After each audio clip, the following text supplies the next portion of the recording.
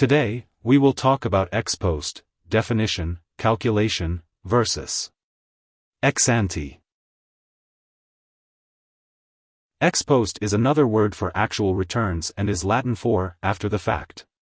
The use of historical returns has customarily been the most well-known approach to forecast the probability of incurring a loss on investment on any given day. Ex post is the opposite of ex ante, which means before the event. Ex post information is attained by companies to forecast future earnings. Ex post information is utilized in studies such as value at risk, a probability study that approximates the maximum amount of loss an investment portfolio may incur on any day. Ex post yield differs from ex ante yield because it represents actual values, essentially what investors earn rather than estimated values.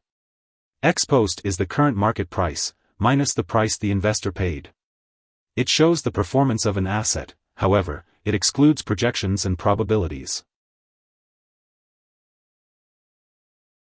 Ex post is calculated using the beginning and ending asset values for a specific period, any growth or decline in the asset value, plus any earned income produced by the asset during the period. Ex post is best used for periods less than a year and measures the yield earned for an investment year to date. For example, for a March 31 quarterly report, the actual return measures how much an investor's portfolio has increased in percentage from January 1 to March 31. If the number is 5%, the portfolio gained 5% since January 1.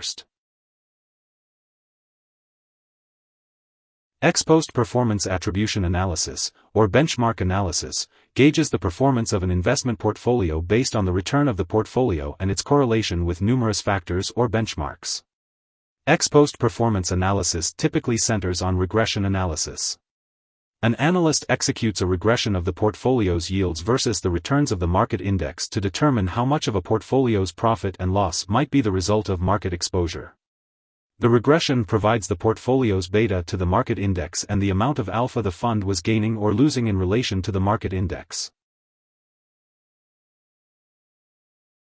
The formula for calculating ex post is slash beginning value. Ex post is a forecast prepared at a certain time that uses data available after that time. The forecasts are created when future observations are identified during the forecasting period. It is used to observe known data to assess the forecasting model.